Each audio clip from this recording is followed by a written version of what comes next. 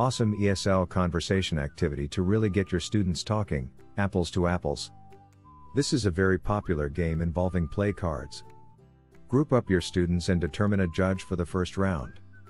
The judge then lays down a card, and the other students need to play cards that they think relate to the judge's card.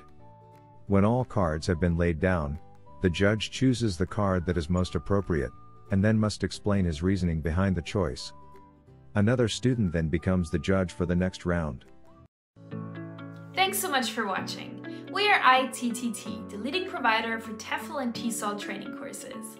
If you like this video, please subscribe by clicking the button down here and click on any of the videos here on the left for more interesting teaching tips for getting certified to teach English abroad and online.